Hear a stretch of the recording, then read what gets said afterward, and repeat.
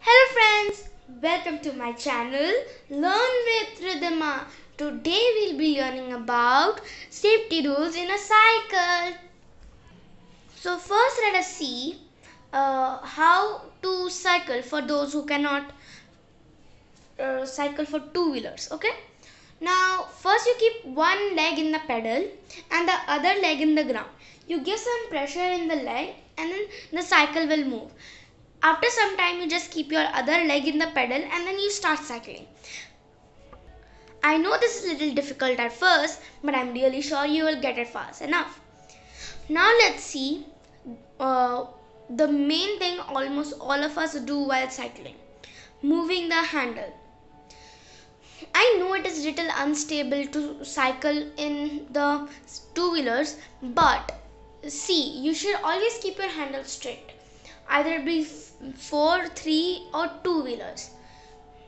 You always have to keep your handle straight while cycling. You or else you might crash on people or things. And while you crash on people, you'll make the other person hurt and yourself hurt, which we do, don't want. And if you crash on things, you might damage something or and you will get hurt by yourself you and you will get scoldings and you'll get hurt. We don't want that either. So beware about that. Now let us see when uh, what do we do, what should we do while a turn. Now almost all of us make this mistake that we move the handle which is very dangerous. I'm telling you like when we go straight and move the handle. I told you you might crash and fall down. Same way for a turn. You might get hurt in an edge or something which will lead you to get hurt.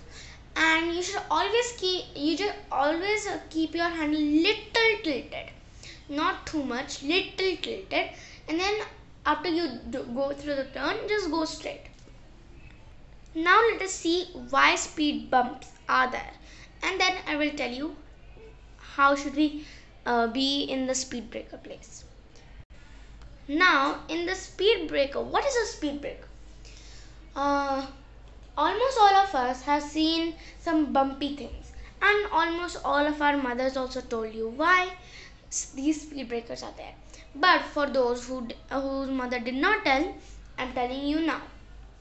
Now, speed breakers are there like now you just predict that you are playing and when speedy car comes and there's a speed breaker there so this the speed breaker breaks the fastness of the car. It may it makes it have the car has to go slow in the speed breaker or else it will get the person inside might get hurt. Now uh, now if you're cycling I just now told you that these speed breakers break the fastness. Now if you're going to go fast in the speed breaker just imagine how you'll how badly you'll get hurt. You might get a hurt in your hand, legs, sometimes even in your head, which is really dangerous and which le might lead you to a lifetime hurt. We don't want that while cycling in a normal day, isn't it? So just be aware about these. Now let us see when should we use the bell. Now this bell is bell indicates a person or a vehicle that there's a cycle behind you right? Now just think that it's a car and uh, why do we keep a honk?